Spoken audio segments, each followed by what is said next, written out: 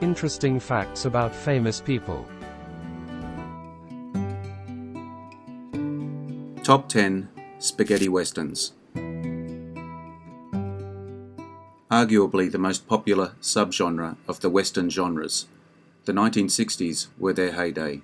Directors like Sergio Leone, Sergio Sollima, Sergio Corbucci, yeah, I see the link here, and more lit up the screen with this highly stylized and violent take on the genre catapulting stars like Clint Eastwood, Charles Bronson, Lee Van Cleef, and more into the limelight. Not everyone's cup of tea, but certainly they had their fans. Still do. Today we will take a look at 10 of the best, with some honourable mentions. If you enjoy this video, hit the notification button to get my new videos. If you want to check out my many other videos, head over to my channel. The link is in the description. Let's get into it.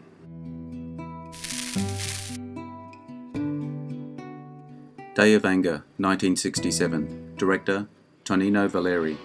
A scruffy garbage boy becomes the pupil of a famed gunfighter, and the stage for confrontation is set when the gunman overruns the boy's town through violence and corruption. The theme song is used in Django Unchained, the training montage scene where Jamie Foxx, Django, is practicing his shooting. Body count 26. Stars Lee Van Cleef, Giuliano Gemma, Walter Rehler, Christa Linder.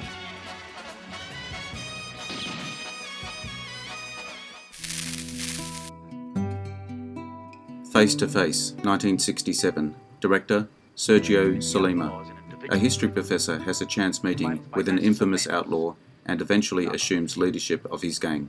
The only spaghetti western starring Gian Maria Volonte, where his voice is not dubbed by Bernie Grant in the English version. Upon release, the film was interpreted by many Italian film critics as a parable on the rise of fascism in Europe. Tomas Milian has expressed that Beauregard Bennett is not one of the best characters he has portrayed, as he believes that he did not have as much material to work with as Volonte. Stars Gian Maria Volonte, Tomas Milian, William Berger, Jolanda Modio.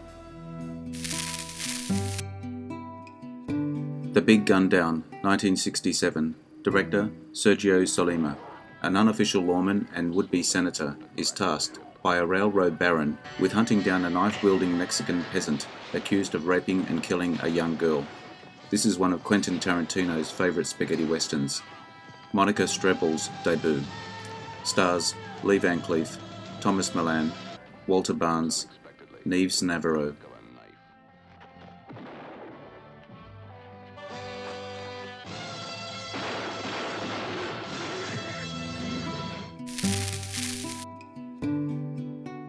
Compañeros, 1970. Director Sergio Corbucci. A Swedish arms dealer and a Mexican peon team up to rescue the intellectual leader of a revolutionary cause, while taking part in numerous misadventures along the way. At one point, Tomas Milian is seen dragging a coffin out of a graveyard. This is a reference to Sergio Corbucci and Franco Nero's previous collaboration, Django 1966, in which the title character drags a coffin behind him.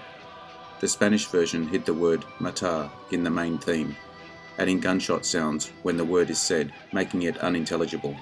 Also, when Franco Nero says the line, Vamos a matar compañeros, let's go to kill partners, the line was dubbed, let's Go to fight partners. Stars Franco Nero, Tomas Milian, Fernando Rey, Iris Berben,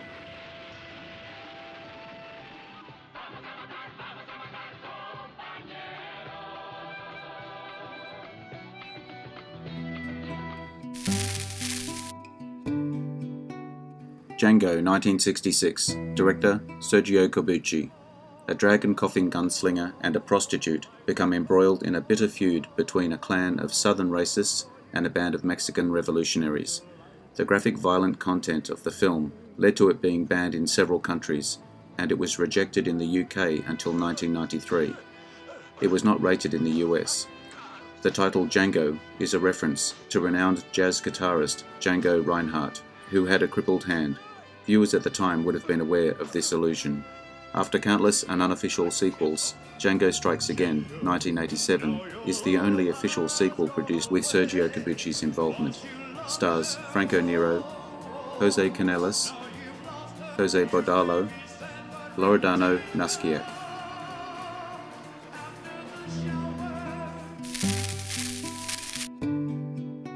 The Great Silence, 1968. Director Sergio Corbucci. A mute gunfighter defends a young widow and a group of outlaws against a gang of bounty killers in the winter of 1898, and a grim, tense struggle unfolds. The snow in the town of Snow Hill was created by gallons of shaving cream. Silence's distinctive rapid-fire pistol is the 7.63mm Mauser C96, nicknamed the broom handle, for its distinctive wooden grip. The pistol was first produced in 1896, two years before the events of the film.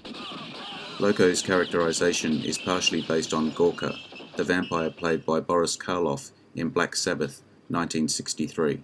Stars Jean-Louis Trintignant, Klaus Kinski, Frank Wolff, Vonetta McGee.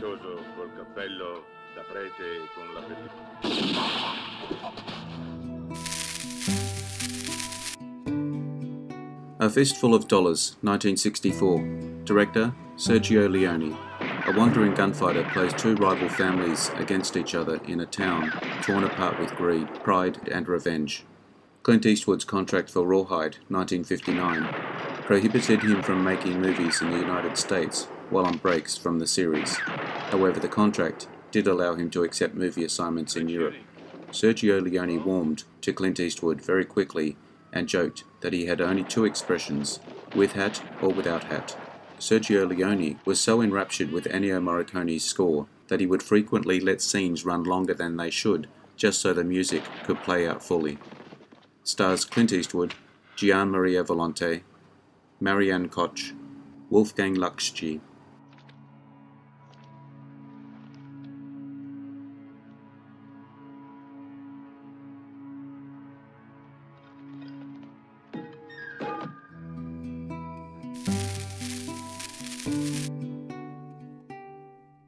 For a Few Dollars More, 1965. Director Sergio Leone. Two bounty hunters with the same intentions team up to track down an escaped Mexican outlaw. Gian Maria Volonte performs his lines in English, although he needed a translator to tell him everything word for word as he did not speak the language. Contrary to some sources, his voice is not heard in the English version, in which his lines are dubbed by veteran voice actor Bernie Grant who also voiced Volonte in A Fistful of Dollars, 1964, and the Embassy Pictures version of A Bullet for the General, 1967.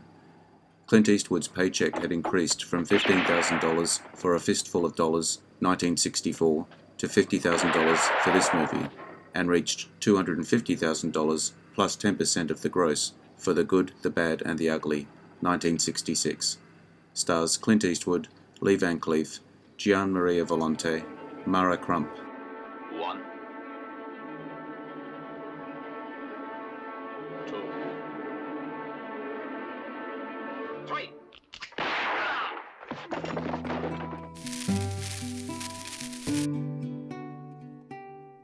Once Upon a Time in the West, 1968. Director Sergio Leone. A mysterious stranger with a harmonica joins forces with a notorious desperado to protect a beautiful widow from a ruthless assassin working for the railroad.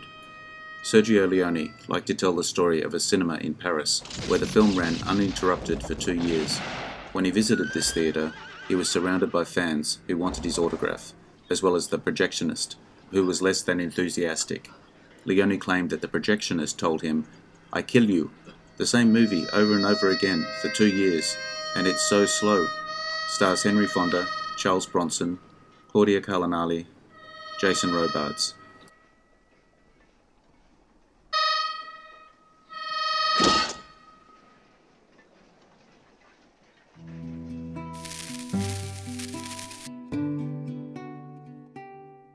The Good, the Bad, and the Ugly, 1966. Director Sergio Leone. A bounty hunting scam joins two men in an uneasy alliance against a third in a race to find a fortune in gold buried in a remote cemetery. Because writer and director Sergio Leone spoke barely any English and Eli Wallach, Tuco, spoke barely any Italian, the two communicated in French. Clint Eastwood wore the same poncho through all three Man with No Name movies, without replacement or cleaning. Stars Clint Eastwood, Eli Wallach, Lee Van Cleef, Aldo Giuffre,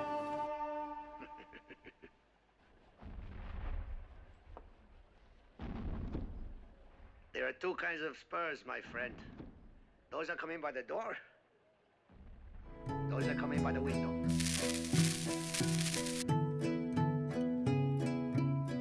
Honourable mentions The Hateful Eight, 2015, Director Quentin Tarantino. Django Unchained, 2012, Director Quentin Tarantino.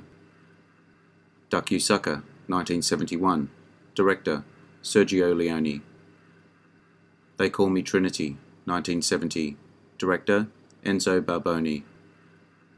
My Name is Nobody, 1973, Director Tonino Valerii.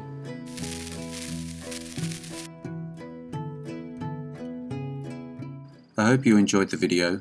Let me know what you think in the comments. I appreciate your likes and subscribers. Hit the notification button to get my new videos. Take a look at my channel and check out my Facebook page. The links are in the description. I am Wrangler. Bye for now. See you again soon.